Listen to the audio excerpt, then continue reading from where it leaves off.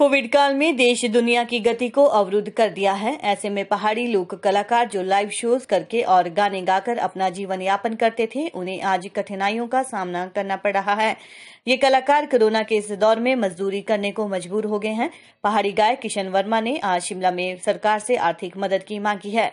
मशहूर पहाड़ी गाने पिंक प्लाजो के गायक किशन वर्मा ने बताया कि वे लगभग 300 से अधिक गाने गा चुके हैं। पिंक प्लाजो को दो करोड़ से अधिक व्यूज़ मिल चुके हैं। उन्होंने बताया कि कोरोना के चलते काम बंद होने के कारण आर्थिक स्थिति खराब हो गई है। उनके साथ ही कलाकार मजदूरी करने को मजबूर हो गए हैं। उन्होंने अपनी लोक संस्कृति को ज़िंदा रखने के लिए पहाड़ी वाद्य यंत्रों को बढ़ावा देने की मांग की है। 99 परसेंट, सर। अब, अभी शादी ब्याह थोड़ी खुली है, सर, जो हमारे ट्रेडिशनल इंस्ट्रूमेंट बजाने वाले हैं।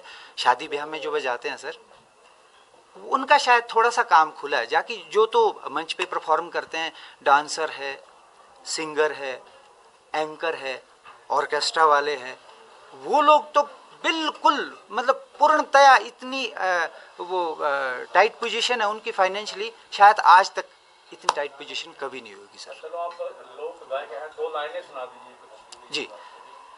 धन्यवाद करना चाहूँगा आपने इस विषय की ओर ध्यान दिया।